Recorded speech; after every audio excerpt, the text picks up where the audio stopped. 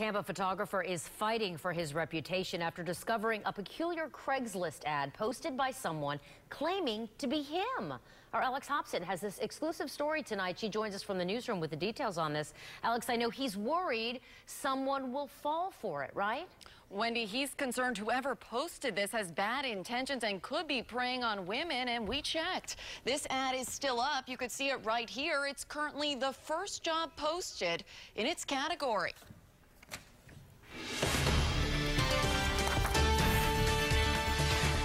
Person is pretending to be me here in Tampa. This is Ryan Gauthier, the real owner of Suntier Studios Photography in South Tampa.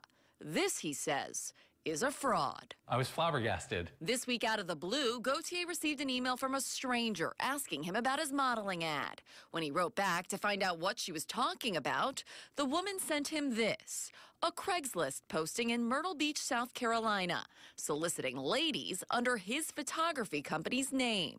It advertises an all expenses paid trip to Tampa, Clearwater, and Orlando, Disney tickets, and 1500 bucks a day. But you need to send a photo first. Gauthier immediately called police. Worst case scenario, it could be, you know, sex trafficking. It could be a lure to bait these young women to meeting them somewhere. Police told him there wasn't much they could do, so he took matters into his own hands, posing as a female and responding to the ad. Minutes later, a man named Brad wrote back. He asked for a short video and gave a phone number to send it to.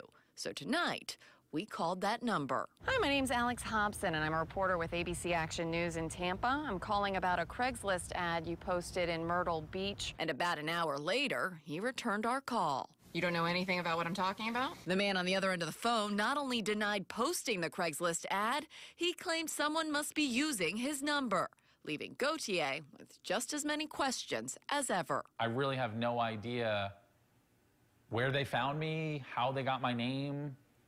I, I, I have no idea. TPD tells me they're currently looking into whether or not a crime has actually been committed. Tonight, I also reached out to Craigslist and the Internet Crime Complaint Center, but I'm still waiting for a response, and so is Gauthier. He's filed reports with Tampa Police, Myrtle Beach Police, and the FBI. Reporting live in the newsroom, Alex Hobson, ABC Action News.